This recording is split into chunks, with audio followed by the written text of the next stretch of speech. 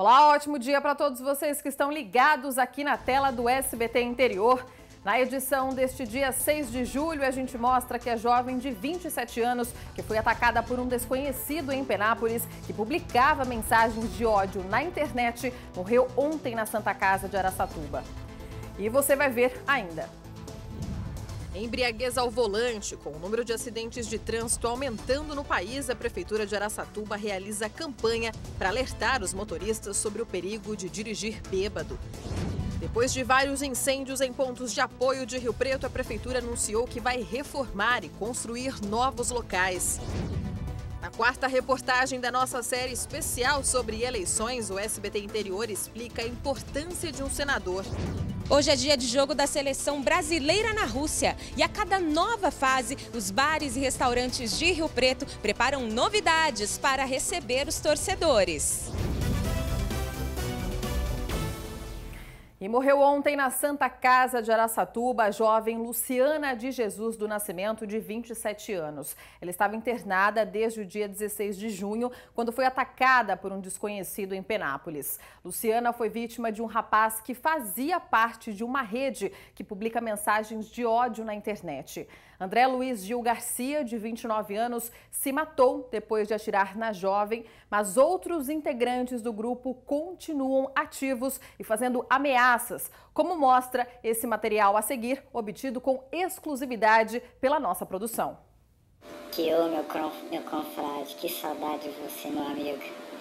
Mas por outro lado, eu fico feliz e satisfeito com seu recente acto de ter aleijado e ter condenado ela a uma vida infeliz muito bom, meu irmão. Te abençoe onde quer que você esteja. Fique tranquilo, que em breve eu vou te acompanhar. Este vídeo foi postado há alguns dias em um chã, um fórum de discussão na internet.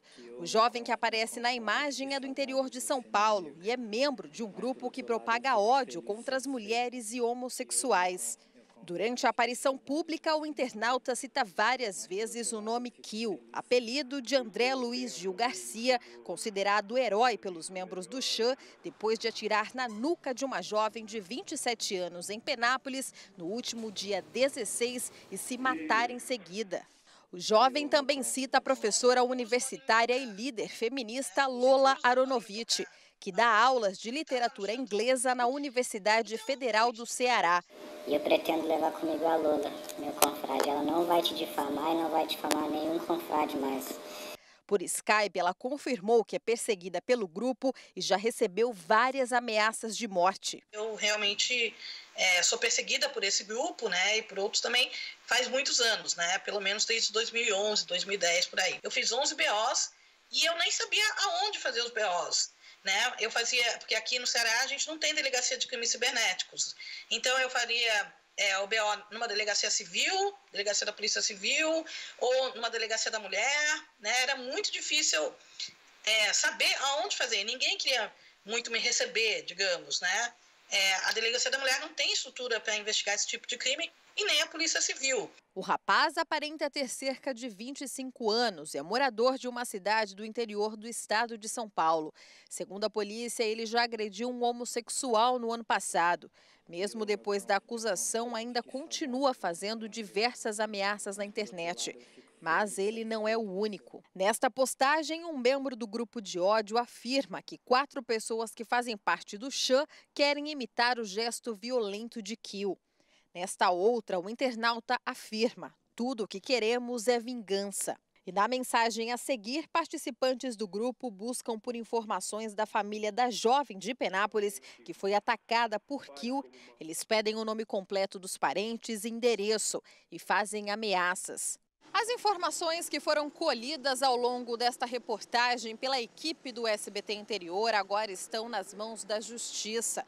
Nós encaminhamos as ameaças para as polícias civil e federal, que vão investigar o caso. É uma luta realmente difícil, né?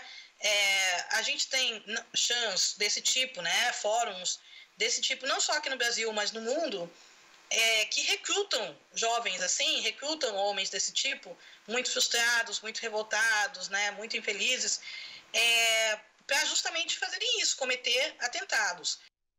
Bom, Luciane está sendo velada no Memorial Bom Pastor, em Penápolis, e o enterro está marcado para as quatro da tarde.